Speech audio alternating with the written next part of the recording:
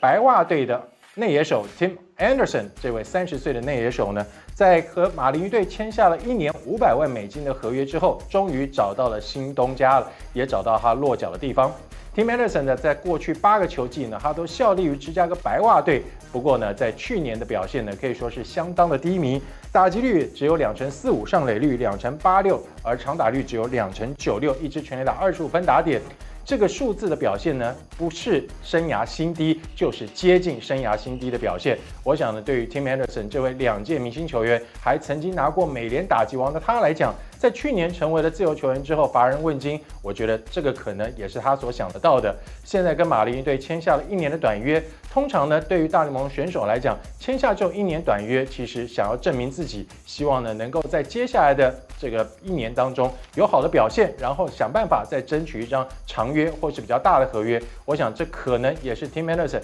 现在的想法。当然，对于马林鱼队来讲呢，他们也终于在今年。新的球季开始之前，从自由球员市场上面找来了一位比较大咖的自由球员，也希望宾主两边呢都能够在新球季当中有一个非常好的合作关系。